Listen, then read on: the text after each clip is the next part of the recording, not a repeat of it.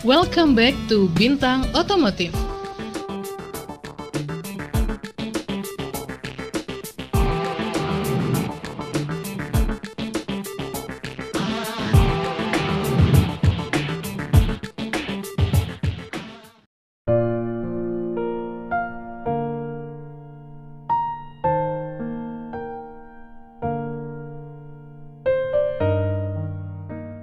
Assalamualaikum warahmatullahi wabarakatuh. Halo guys. Kembali lagi di channel otomotif terpercaya dan kesayangan Anda Bintang Otomotif.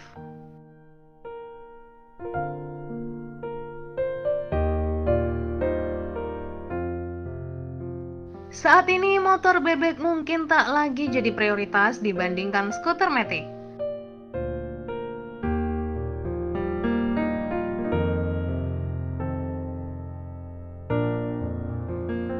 Tapi ada tipe motor bebek yang saat ini masih eksis, yaitu motor bebek sport.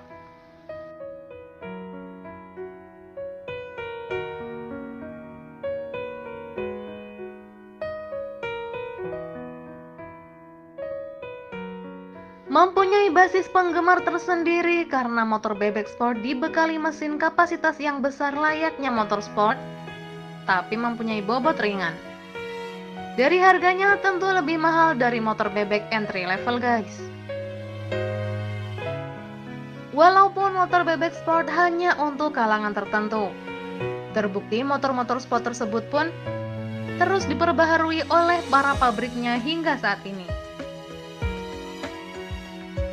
Dan ternyata guys, ada salah satu pabrikan yang meluncurkan motor bebek sport dengan mesin kecil tapi mempunyai tampilan yang sporty banget. Tentunya motor sport ini dijual dengan harga yang sama dengan motor bebek biasa atau entry level. Pasti penasaran kan sebenarnya motor bebek sport apa sih? Terus gimana spesifikasi dan harganya? Tonton videonya sampai habis ya.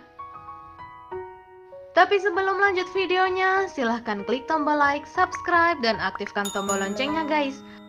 Karena itu gratis guys, dan menjadikan kita semangat membuat konten yang bermanfaat. Terus buat kalian yang udah subscribe, makasih ya.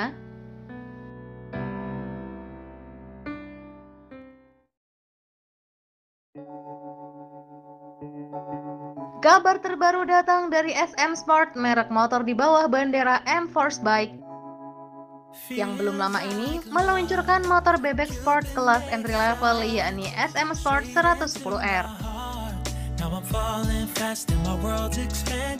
SM Sport 110R 2022 hadir dengan gaya sporty dan modern. Bisa dilihat secara tampilan saja motor ini lebih keren dari salah satu bebek terlaris di Indonesia, Honda Revo X. Aura sporty juga mengalir ke bagian samping bodi hingga ke belakang. Semakin menambah kesan sporty dengan model spatboard depan motorsport.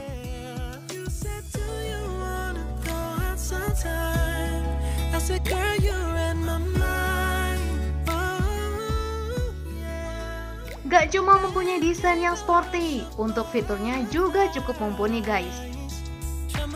SM Sport 110R pada bagian headlamp dilengkapi lampu halogen dengan lampu sein depan dan belakang menggunakan tipe LED dan lampu DRL yang lebih terang. Panel instrumen analog yang menampilkan informasi saat berkendara. Suspensi belakang menggunakan merek KYB atau Kayaba. Ruang penyimpanan di bagasi cukup besar yaitu 10 liter dan tangki bahan bakar 4 liter. Kunci konvensional dengan pelindung magnet agar motor aman dari pencurian. Port USB untuk mengisi daya gadget sehingga cocok untuk mereka yang menggunakan aneka gadget untuk navigasi. Selain mempunyai tampilan sporty dan fitur kekinian, SM Sport 110R dibekali mesin 109 cc, 1 silinder, 4 stroke, SOC, berpendingin udara, sistem pembakaran karburator dengan 4 kecepatan. Di atas kertas, mesin ini mampu menyemburkan power maksimum 4,8 kW pada 7500 rpm dan torsi puncak 7,0 Nm pada 5000 rpm. Untuk menunjang performa mesin, SM Sport 110R dibekali suspensi depan telescopic fork dan double shock absorber di suspensi belakang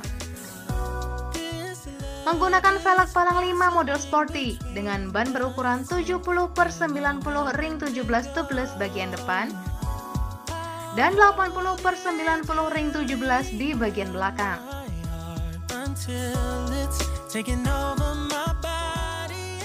Menambah kesan nyaman dan aman karena bagian sistem pengeremannya menggunakan disc brake di depan dan tromol di belakang.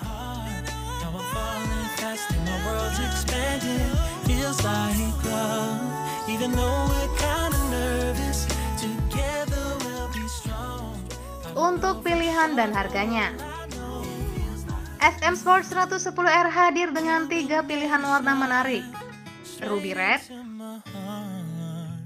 Ocean Blue dan Shadow Black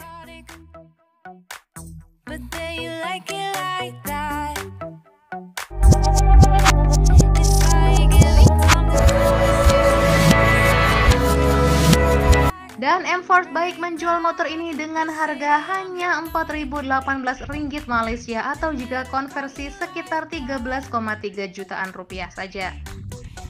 Cukup murah untuk motor sports keren ini. Dan bisa dibeli di dealer resmi M-Force di Malaysia.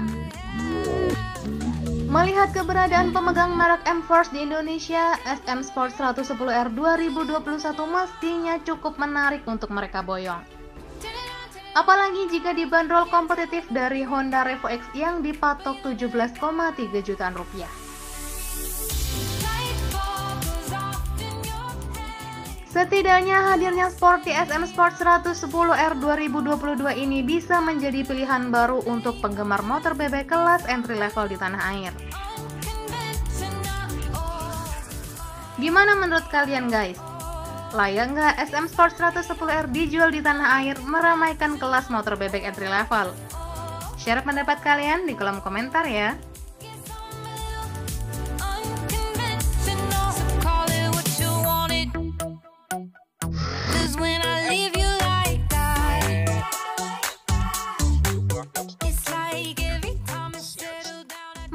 Udah nonton video ini sampai selesai ya guys.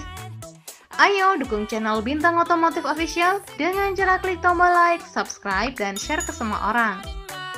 Makasih ya. Wassalamualaikum warahmatullahi wabarakatuh.